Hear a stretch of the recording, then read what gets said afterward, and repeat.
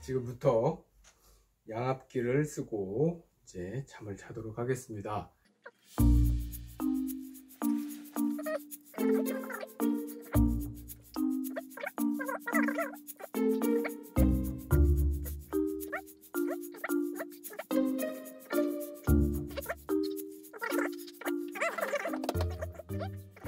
근데 오늘은 처음 하는 날이라서 아이고 되게 어색한데 잠시만 잘잘 수 있을지 모르겠네요.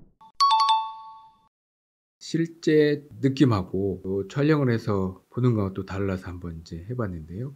다른 사람이 양악기 쓰는 걸 여러 번 봤어도 제가 쓰고 있는 것을 보니까 야 저걸 쓰고 자기는 참 쉽지 않겠다 싶었는데 역시나 아, 쉽지 않더군요.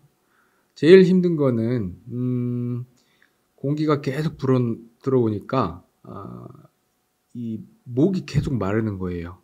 코도 마르고 어, 목이 말라서 자꾸 기침을 하게 되고 어, 그러다 보니까 깊은 잠을 못 자겠더라고요.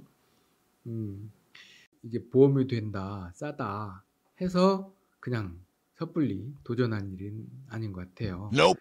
그래서 너무너무 심한 사람들 있죠. 그런 사람들은 진짜 자는 게 위험한 사람들 많거든요.